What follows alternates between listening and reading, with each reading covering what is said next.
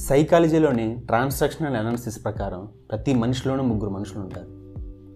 ఒకటి పేరెంట్ రెండు అడల్ట్ మూడు చైల్డ్. వేర్వేరు సిచ్యువేషన్స్లో వేర్వేరు స్థాయి భావాలు ఎలా మారతాయో మనుషులు ఒక స్థితి నుంచి మరో స్థితిలోకి ఎలా దిగజారుతారో ఇందులో చూడొచ్చు.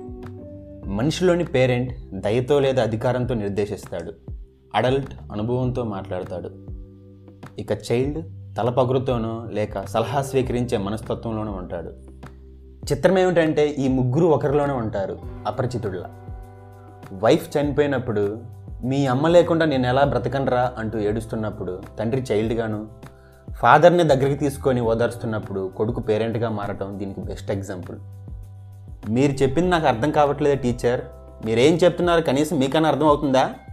అని అరవటంలో అడల్ట్ కనపడతాడు. అంత అర్థం కాకపోవడానికి ఇందులో ఏముందిరా సొంట? అని అరిచే టీచర్ విసుగులో చైల్డ్ మనస్తత్వం చూడొచ్చు. ఇదంతా మనుషుల మధ్య అనాలోచితంగా అసంకల్పితంగా జరిగే చర్య. ఇలాంటి చర్యలకు మనం కూడా బాధితులమే. ఒకసారి గుర్తు తెచ్చుకోండి.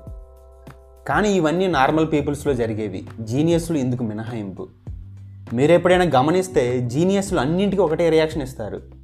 బాధకి సంతోషానికి కోపానికి చిరాకుకి ఇలా అన్నింటికి ఒకటే ఎక్స్ప్రెషన్ ఇస్తారు. అదే సైలెంట్గా మునిలా ఉండటం. మీ డాడీకి యాక్సిడెంట్ అయింది మామా? అని మన ఫ్రెండ్ చెప్తే ఓరే నాయనో డాడీ అంటూ ఏదో చచ్చినట్టు గగ్గులు పెడతాం. అదే జీనియస్ అయితే ఎప్పుడు ఎక్కడ ఎలా జరిగింది అని న్యూస్ రిపోర్ట్లో అడుగుతాడు. ప్రతి మనిషిలోనూ ఈ లక్షణం ఉండాలి. నువ్వు ఎమోషన్ అయ్యి గగ్గోలు పెట్టి ఏడ్చి అరిసేసరికి ఈ లోపు కొన ఊపిరిలో ఉన్న ఫాదర్ చనిపోతాడు. ఇంకొంతమంది ఉంటారు మీ డాడీకి యాక్సిడెంట్ అయ్యిందిరా అని చెప్పగానే వాడికంటే వీడే ముందు పోతాడు. అదే హఠాత్ మరణం. వీళ్ళు కొంచెం వింత జీవులు అనుకో.